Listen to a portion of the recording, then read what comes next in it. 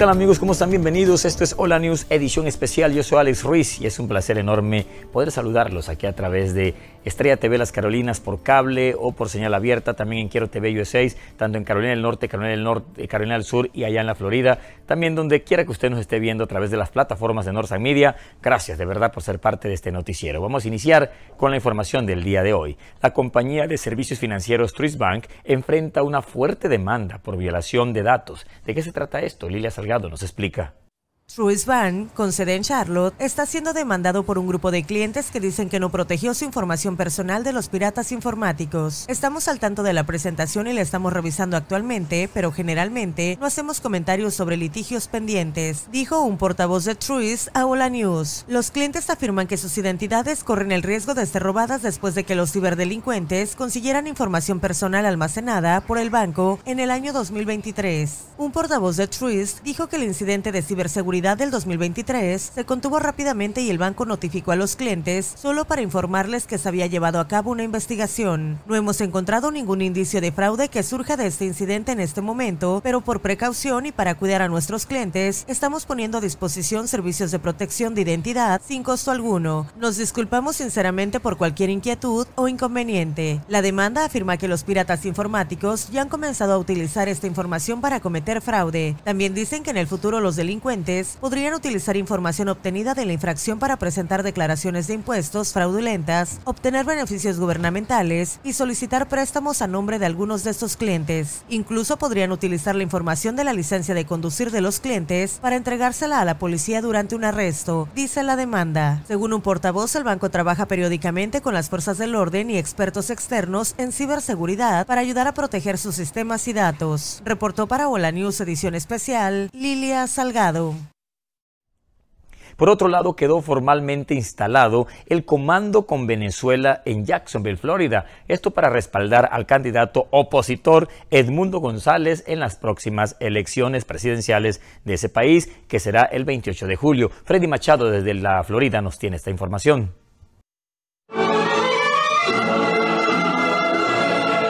El evento inició con el himno nacional de Venezuela y las palabras de la dirigente opositora María Corina Machado. La emoción que me da compartir con ustedes hoy cuando estamos juramentando nuestro comando de campaña con Venezuela en los Estados Unidos. A todo el equipo que lo integra, porque tenemos que llegarle a cada venezolano que está en Estados Unidos, pero también a cada latinoamericano y también a cada estadounidense, para que todos seamos parte de esta gran causa, de este gran movimiento. Los venezolanos llevan años organizándose desde el exterior para un momento como este y el momento llegó. Un encuentro muy importante para los venezolanos en Jacksonville. Hemos visto eh, mucha motivación porque esto es el inicio de un trabajo en equipo, es el inicio eh, de lo que justamente va a ocurrir el 28 de julio. Hay que despertar ese, esa esperanza, ese entusiasmo de nuevo, hay que volvernos a encontrar en la calle, es un momento de activismo, es un momento de, de unión, es un momento de despertar. Con todo tipo de artimañas, el régimen impuesto en el país bloqueó la posibilidad de que la mayoría de los venezolanos de la diáspora en el mundo pudieran votar, pero ese intento de manipulación a la voluntad popular se revirtió en mayor fuerza para impulsar a los que sí pueden hacerlo y de eso se trata el esfuerzo. Nos estamos organizando para ayudar a los que están allá en Venezuela a que vayan a votar, a los centros, a la gente que trabaja en las mesas, a las personas que no tienen para trasladarse. Eso es lo importante de esta organización. Aunque las últimas elecciones en Venezuela han quedado bajo una sombra de duda y muchos jerarcas del régimen podrían negarse por la fuerza a entregar el poder, ya que la justicia internacional los está solicitando por narcotráfico y violación de los derechos humanos, entre otros delitos, y ellos tienen el monopolio de las armas. Nosotros creemos que la esperanza es lo último que se pierde, poniendo nuestro granito de arena, asegurando que los venezolanos pongamos nuestro esfuerzo por lograr la libertad, de no importa de qué parte del mundo nosotros nos encontremos, tenemos la manera de contribuir. El sentimiento es compartido entre todos los venezolanos dentro y fuera de su país. Qué emoción ver en esta sala varios de nuestros compatriotas reunidos simplemente para seguir apoyando a nuestro candidato. Una victoria contundente y una posterior movilización de masas para que se respeten los resultados sería la vía para que Venezuela salga del sistema totalitarista que ya cumple más de 24 años en el poder. Alexis Marcano es un tecnólogo en construcción civil. Al migrar, ha trabajado en hotelería, delivery, transporte y ahora lo hace en el depósito de una empresa eléctrica. Es la historia de muchos venezolanos en el exterior y desde Jacksonville envía un emotivo mensaje a sus connacionales. Que crean, que crean que esta vez sí podemos lograr el milagro de obtener una victoria contundente no va a ser fácil ni sencillo. Honor, lealtad y determinación. El cierre del evento fue a ritmo del folclore venezolano con el grupo Venezuela Marca que puso la nota artística y esa conexión emocional de los venezolanos con su tierra. Al negarles la posibilidad de votar, los venezolanos en el exterior se preparan con una operación de apoyo logístico para este 28 de julio y ayudar a todos los que podrán ejercer su derecho en Venezuela para lograr un cambio. Freddy Machado, Hola News, edición especial. Y bueno, en otras noticias, una familia colombiana residente en North Charleston sufrió un grave accidente con un cilindro de gas que explotó cuando se preparaban para cocinar. El incidente dejó dos heridos. Hoy sus familiares claman ayuda a todos los hispanos para poder superar esta situación. Carlos Cárdenas nos tiene la nota.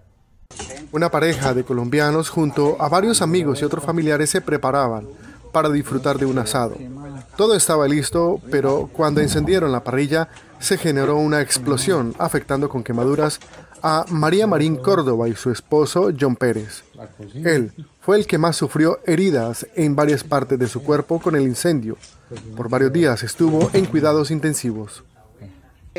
No sé si fue una fuga exactamente, pero abrí la puerta de la yarda y ya habían llamas y salió una una llamarada y, todo, lo, todo el impacto lo recibió mi esposo de frente. Él en este momento pues obviamente tiene quemaduras muy delicadas, está hospitalizado, estuvo en cuidados intensivos tres días eh, y ahí va con su recuperación. Los daños quedaron registrados a través de varios videos aficionados. Los registros audiovisuales describen la intensidad de la explosión y el incendio. La parte posterior de la casa fue la más afectada. La cocina y algunas habitaciones también presentaron daños considerables. Pues el proceso de, cicatrización de las quemaduras es muy lento y doloroso. Eh, le están haciendo fisioterapias, pero mi esposo afortunadamente ha evolucionado muy bien. Eh, ya eh, su rostro ya, ya lo tiene más, más seco, más cicatrizado, tiene el brazo derecho y, el y la pierna izquierda son las que tienen en este momento más afectadas. María Córdoba ahora busca el apoyo de la comunidad hispana, pues las circunstancias no le permiten salir a trabajar. Las deudas como el arriendo, mercados y otros costos se acumulan y no tienen cómo sufragar estos gastos, especialmente los hospitalarios. Nos regalaron una cama queen, que es como la grande, yo no conozco en el tamaño, pero no tenemos el colchón, de pronto el colchón, em, bueno, y, pues cosas de, mercado. Pues la verdad es que em, en la cocina pues uno necesita de todo, pero no, o sea, de pronto leche, huevos, como mm, granos, lentejas y pues como lo, necesario pues para de comer. Pero la ayuda más importante, pues si nos pueden ayudar económicamente, eso sería mucho más importante porque pues ninguno de los dos hemos podido trabajar. Él necesita acompañamiento todo el tiempo, yo estoy acá en el hospital con él todo el tiempo y pues hay que pagar renta, hay que pagar servicios y, y pues no. Hoy, esta familia busca una nueva oportunidad solicitando la ayuda de sus compatriotas y otros hispanos para salir de esta tragedia. Por esa razón, han creado una cuenta en GoodFundMe para recibir las ayudas. Bueno, pues realmente esto es muy difícil uno tener que, pedir ayuda. Es muy duro porque uno nunca se imagina que, va a tener que hacerlo y, uno a veces ve este tipo de cosas en periódicos, en televisión y uno, uno a veces es muy, muy frío ante la situación. Pero yo ahora lo estoy viviendo y si la gente de buen corazón quiere ayudarnos con algo, lo vamos a recibir con todo el amor del mundo. Por el momento, John Pérez sigue hospitalizado en observación. Aún así, su recuperación es satisfactoria. Su esposa espera recibir el apoyo de la comunidad hispana ante esta tragedia. Desde Charleston, Carlos Cárdenas, Hola News, edición especial. Muchas gracias, mi querido Carlos Cárdenas. Nos vamos ahora a la sala de redacción con Alejandra Gallardo y las últimas noticias de lo que está ocurriendo aquí en las Carolinas. Adelante, mi querida Alejandra. Efectivamente, todo listo desde la sala de redacción para presentarles la información de último momento en esta transmisión de Hola News, edición especial. Vamos con los detalles. La policía de Matthews anunció el domingo por la noche que una niña autista desaparecida de 16 años está a salvo y se reunirá con su familia. Yahamia Evelis Herdon fue vista por última vez a las 9.30 am del domingo caminando en el área de Reverdy Lane y la autopista 51. Dos bomberos fuera de servicio del Departamento de Bomberos Voluntarios de Rowan Iredell murieron en un accidente de vehículo todoterreno en Virginia Occidental, declararon funcionarios de la ciudad de Cleveland en Facebook. La oficina del sheriff del condado de Rowan ofreció sus condolencias a las familias de Daniel Sell y Jacob Steele. El primer ministro israelí Benjamin Netanyahu aludió de nuevo al impacto que el supuesto envío ralentizado de armamento desde Estados Unidos está teniendo en el ejército y en el conflicto en Gaza, y dijo que la situación básica no ha cambiado. Hace unos cuantos meses hubo una caída espectacular en el suministro de armamento que llegaba de Estados Unidos a Israel. Regreso cámaras y micrófonos hasta el estudio de Hola News edición especial. Los invito a mantenerse informados también a través de nuestras redes sociales. Nos vemos en la próxima.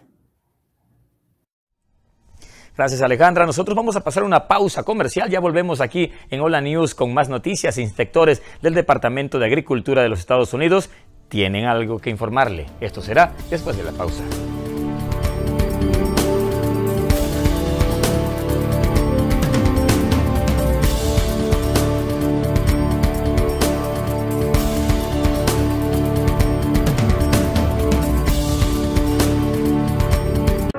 todos los días era lo mismo. Hacía de todo para que nadie se diera cuenta de lo que me sucedía, pero a mi estómago no le importaba dónde estaba y el dolor reaparecía. Tras muchas veces de casi no llegar al baño y de perder peso, tenía que hacer algo. El Crohn's and Colitis Foundation me ayudó a atender lo que me sucedía y a encontrar un especialista. No oculte sus síntomas, busque ayuda. Visite revelatuinterior.org. Cuando nació mi tercera hija, mi mundo era perfecto. Ocho días después sufrí un ataque o derrame cerebral. Mi mundo se hizo pedazos. Yo era joven, pero un derrame le puede pasar a cualquiera. Gracias a que actué rápido pude sobrevivir. Aprende a identificar los síntomas de un derrame rápido. Rostro caído, alteración del equilibrio, pérdida de fuerza en el brazo, impedimento visual repentino, dificultad para hablar. Obtén ayuda rápido. Llama al 911. Escucha la mejor música latina en Latina FM. Con estaciones en tres estados, siempre estarás cerca de Latina Radio. DJs en vivo desde el estudio, siempre tocando música con todo el sabor latino. Escucha a las más grandes estrellas. No fue culpa tuya, ni tampoco mía. Reggaeton. Tú no eres bebecita, tú eres friquita una más. Tropical.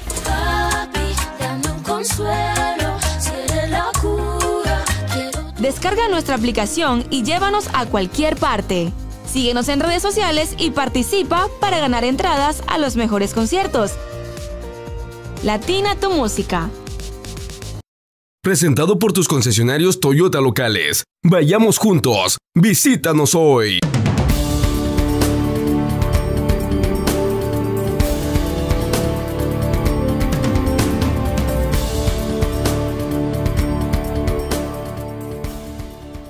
Ya estamos de vuelta aquí en Hola News, edición especial y como les dije antes de la pausa, inspectores del Departamento de Agricultura de los Estados Unidos reanudarán actividades en empacadoras de aguacate y mango en el estado mexicano de Michoacán y una semana después de que fueron suspendidas, después de que fueron agredidos por dos inspectores, bueno, hubo diferentes detalles que salieron de la mano. Alejandro Roldán tiene esta noticia desde la capital mexicana. La exportación de aguacate a los Estados Unidos, que fue suspendida hace más de una semana por la retención y agresión a dos inspectores del Servicio de Inspección y Sanidad Animal y Vegetal del Departamento de Agricultura de los Estados Unidos, mientras realizaban su trabajo, fue reactivada, de acuerdo con el gobernador del estado de Michoacán. Y hoy iniciaron otra vez la certificación del aguacate y del mango de nueva cuenta se reenvían los embarques de aguacate y de mango a Estados Unidos. Tras esta suspensión, varios trabajadores se vieron perjudicados, por lo que salieron a las calles de esa ciudad a buscar apoyo económico, ya que su fuente de ingresos se vio afectada, ya que los empresarios agricultores tuvieron que despedir a sus empleados. No sabemos cuánto, hasta cuándo va a haber trabajo. Pues que nos eche la mano, pues ahí los, los, el presidente más que nada, pues que nos apoye.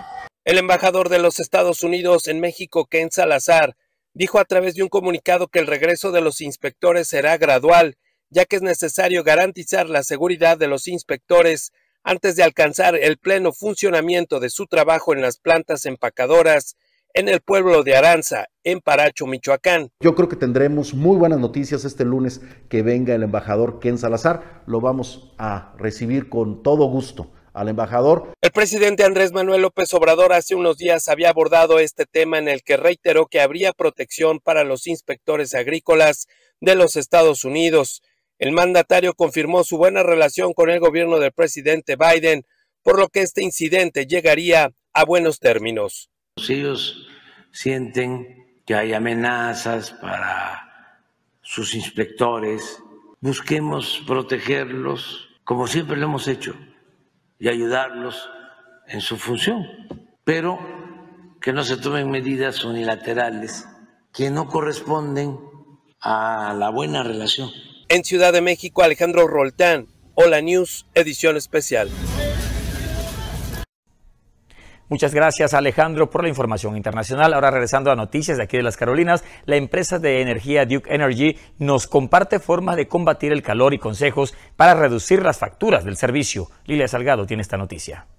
Mientras el área de Charlotte se ve azotada por altas temperaturas, un portavoz de Duke Energy dijo que hay bastantes maneras de mantenerse fresco y al mismo tiempo mantener bajo la factura de energía. Algunos consejos de eficiencia energética gratuitos y de bajo costo. Punto número uno, configure su termostato al nivel más alto que le resulte cómodo o instale un termostato inteligente. Punto número dos, en verano haga funcionar los ventiladores de techo en el sentido contrario a las agujas del reloj, lo que empuja el aire más frío hacia la habitación. Punto número 3. Cierre las cortinas y persianas para ayudar a evitar que el sol caliente su hogar. Punto número 4. Cambie los filtros del aire con regularidad. Un filtro de aire sucio hace que el sistema de refrigeración trabaje más, lo que utiliza más energía y puede aumentar los costos. Duke Energy también comentó que ofrece varios productos, programas y servicios para los clientes que pueden ayudarlos a reducir su uso de energía durante los meses más calurosos del verano. Uno de estos programas es Power Manager. Es un programa que ofrece créditos en la factura para reducir el uso de electricidad durante los momentos de máxima demanda de energía. Puede participar inscribiéndose en el programa un termostato inteligente, una tira calefactora de aire acondicionado o baterías residenciales. ¿Cómo funciona? Algunas veces durante el verano, la empresa puede activar Power Manager para ayudar a evitar encender plantas de energía adicionales o comprar energía de otros proveedores. Los dispositivos registrados están ligeramente ajustados para ayudar a conservar energía. Esto ayuda a ahorrar dinero a los clientes y reduce el impacto ambiental, dijo Duke Energy. La compañía dice que solo ajusta la temperatura unos pocos grados o menos. La mayoría de los 222 mil clientes del programa informan que no notan el cambio, dijo un portavoz de la ciudad de Reina. Los clientes pueden utilizar la aplicación de Duke Energy para realizar un seguimiento del uso de energía por hora, día o semana. El objetivo es ver cuánto aumenta el uso de energía y ajustar los hábitos que pueden estar aumentando, dijo la compañía. Reportó para Hola News edición especial Lilia Salgado.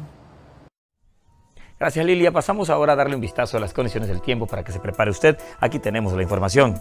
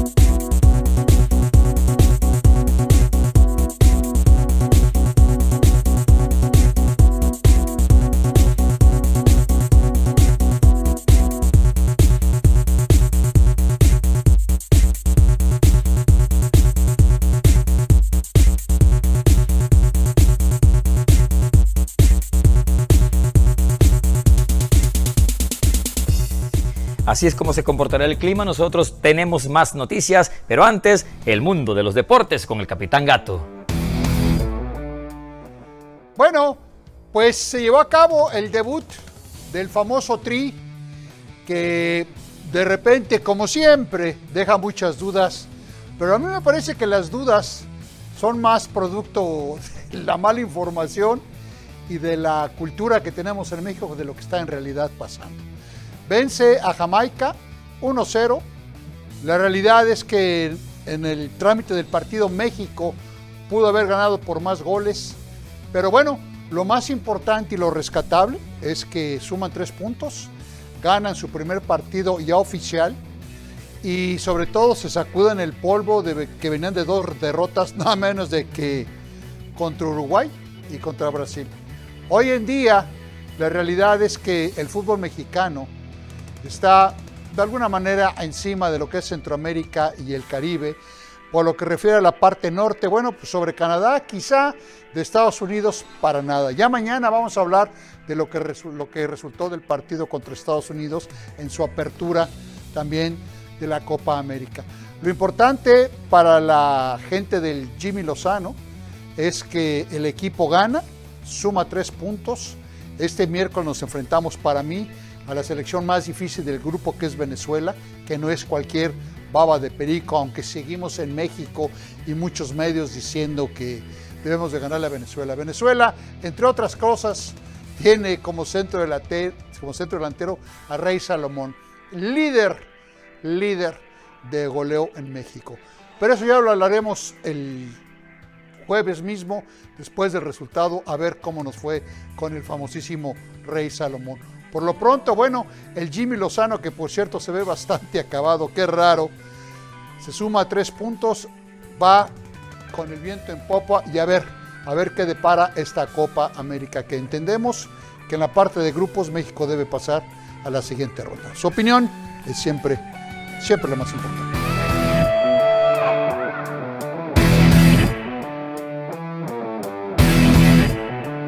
Cuando nació mi tercera hija, mi mundo era perfecto.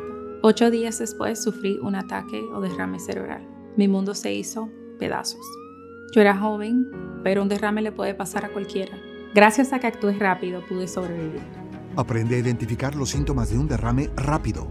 Rostro caído, alteración del equilibrio, pérdida de fuerza en el brazo, impedimento visual repentino, dificultad para hablar. Obtén ayuda rápido. Llama al 911. Todos los días era lo mismo. Hacía de todo para que nadie se diera cuenta de lo que me sucedía. Pero a mi estómago no le importaba dónde estaba y el dolor reaparecía. Tras muchas veces de casi no llegar al baño y de perder peso, tenía que hacer algo. El Crohn's and Colitis Foundation me ayudó a atender lo que me sucedía y a encontrar un especialista. No oculte sus síntomas, busque ayuda. Visite revelatuinterior.org. Escucha la mejor música latina en Latina FM. Con estaciones en tres estados, siempre estarás cerca de Latina Radio. DJs en vivo desde el estudio, siempre tocando música con todo el sabor latino. Escucha a las más grandes estrellas. No fue culpa tuya, ni tampoco mía. Reggaeton. Tú no eres bebecita, tú eres bebesota, friquita, una más, no. Tropical. Papi, dame un consuelo, si eres la cura. Quiero Descarga nuestra aplicación y llévanos a cualquier parte. Síguenos en redes sociales y participa para ganar entradas a los mejores conciertos. Latina tu música.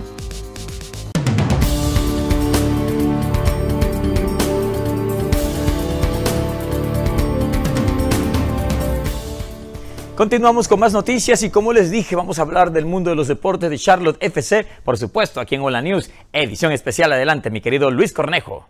¿Ya te has hecho una mamografía? No tenía cómo pagarla. Entonces conseguiste trabajo con beneficios. No, sigo en lo mismo, pero ahora tengo Medicaid de Carolina del Norte. Verifica si calificas. Visita másmedicaid.nc.gov. Cualquier persona puede luchar por su salud mental. Un amigo, un ser querido. Tal vez incluso tú. Siempre hay alguien con quien hablar. Llama a 988. La línea de prevención de suicidio y crisis. Llama al 988.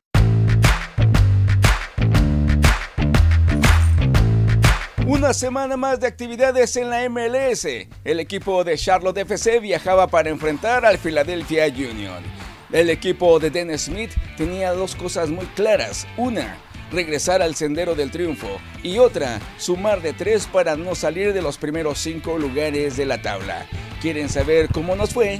Aquí les presentamos el resumen. Rodaba el balón en Filadelfia y el equipo de Charlotte llegaba buscando a toda costa llevarse los tres puntos. Y al minuto 2 del juego, Lie Lavada tenía la primera oportunidad de gol, pero Rick, portero local, estaba muy atento. A los tres minutos, en un error de salida de Kalina, que pierde el balón, pero muy atento Malanda, evita el primer gol del equipo local, que estuvo muy insistente en los primeros minutos del juego. La respuesta llegó hasta el minuto 32, con un disparo fuera del área de Avada, que llegaría tranquilamente a las manos de Rick. Un tiempo con llegadas para ambos equipos, pero Caliña estuvo muy atento bajo los tres postes. Casi en la recta final, al minuto 39, Ayeman remata de cabeza solo frente al portero, en un balón desviado por arriba del travesaño, que fue una de las llegadas más claras de Charlotte que no podía abrir el marcador, y así irse con un empate a cero la primera mitad. Ya en la segunda parte, el equipo de Charlotte salió más ofensivo, y al minuto 55, en un desdoble a velocidad y en una triangulación, Vargas vende Yuronen, que manda un centro, donde Ayeman no perdona y de un cabezazo manda el balón al fondo de las redes y así abrir el marcador.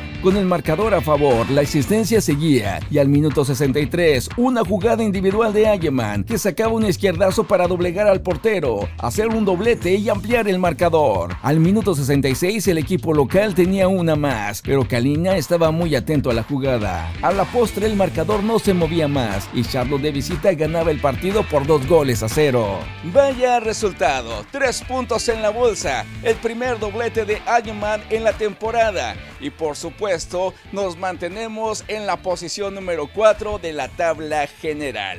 Próximo fin de semana, 8.30 de la noche, viajamos hasta Houston, Texas, para enfrentar al Houston Dynamo en lo que será otro encuentro bastante complicado, pero obviamente la misión es seguir buscando los tres puntos y mantenernos entre los primeros cinco lugares de la tabla. Hasta aquí mi reporte con esto nosotros regresamos a los estudios.